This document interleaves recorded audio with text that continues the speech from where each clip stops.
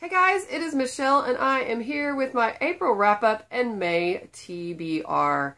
My April wrap-up is going to feel very different because every time I finish three books, I am now publishing a video and uh, doing the review on them. It's more timely that way and the videos are not nearly as long in length. It's easier for me and easier for you guys as well. So I am simply, for what I read in April, going to list the book and the rating I gave it. And there's either already a video out there or there will be within a week um, to discuss my thoughts on the book. First up is Chew Volume 2 by John Layman and Rob Guillory. This is a graphic novel series and it is funny and fast-paced and hilarious. And I gave it five stars, Volume 2. Next up was Hero of Ages by Brandon Sanderson. This is the third book in the Mistborn trilogy, and I don't see how any fantasy series could ever top that ending. I, yeah, I just, I don't see how it, it could ever be possible. I gave this five stars. This series is on my favorite shelf. I don't think anything could ever compare.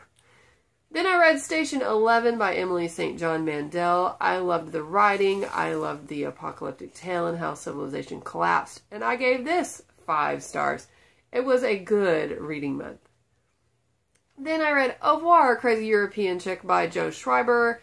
And this book is probably targeted towards teenage boys. And seeing as how I'm neither, I didn't super enjoy it, but I did enjoy it and I gave it three stars. I think if you're in that target audience, you'll appreciate it a whole lot more than I did.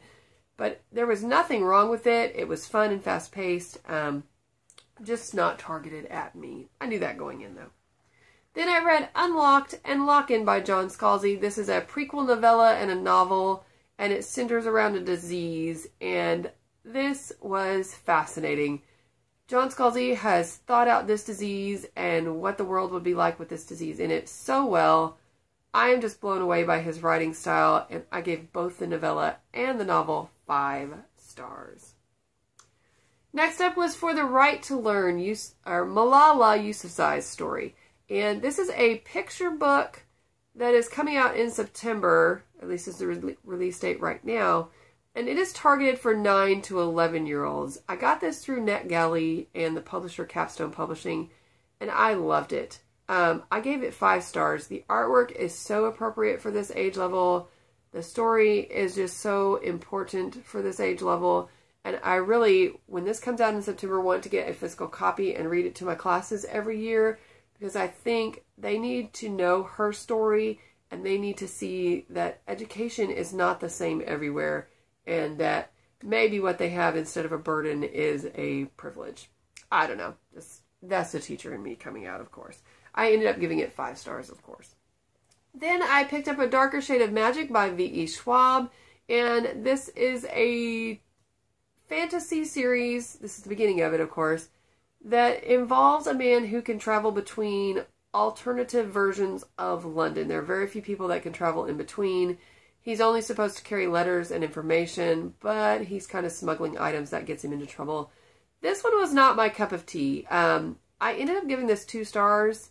I think it is suffering a little bit by comparison to Mistborn, but I just found all kinds of problems and just really did not enjoy the style of this book. So I'll talk about more about that in a future video. Also in a future video, you will hear about The Girl with the Magic Hands by Nnedi Okorafor. This is a short story that she wrote. And it's about a young girl who lives in a small village and she is unhappy. Her parents are unhappy. But then she has a, a sort of magical realism encounter that introduces art into her life and just enhances her life in general. And it was a very cute story. And even the next day, as I was thinking about it, there were more layers to it than that. And I was just so impressed that later on when I started to analyze it, there was a lot more to it than was just in the surface of the story. So I ended up giving it four stars and really enjoyed it. So that wrapped up my April.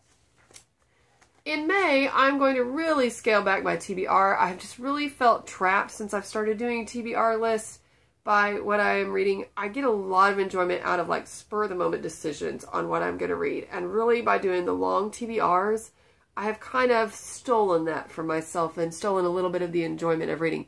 What I have been reading is quality, and I have enjoyed the reading experience, but I've just had this kind of like trapped spring fever kind of a feel going on with what I've been reading. So I'm only going to have a few books on my May TBR. First up, for the Read Harder 2015 challenge, I want to read What Everybody is Saying by Joe Navarro. This is going to fill the self-help book um, section of that challenge. And he's a former FBI agent who is kind of a specialist in nonverbal communication. And so this book is about how to speed read body language. I've already picked up one tip from here and started using it, and it's kind of fascinating. So hoping to pick more tips up from it. I also want to get to Chew, Volume 3, Just Desserts, obviously by John Layman and Rob Guillory again, hoping it's just as disgusting and funny and action-packed as the first two. The Year of Cosmere group is reading Elantris by Brandon Sanderson, and it sounds fascinating about a story, I mean, about a city that was very magical. The beings in it could do no wrong, um, and anybody could turn into one of these buildings, but 10 years ago, something went very wrong. So very interesting to discover what Brandon Sanderson has in store for us there. If I have time, I will get to The Emperor's Soul, which is a sequel novella. That one might have to wait till June. We'll see. And probably the book I'm most excited about on my May TBR is Regulation 19 by P.T. Hylton. He's a fellow booktuber.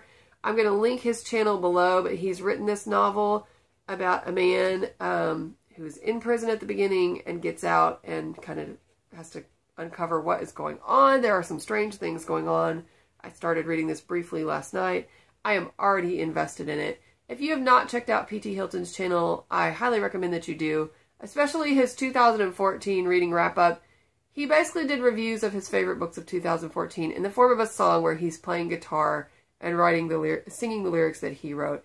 It is fascinating. So, there you have it, my April wrap up and my May TBR. If there's anything on my May TBR that you would like to buddy read, just let me know in the comments down below. Thank you so much for watching and happy reading.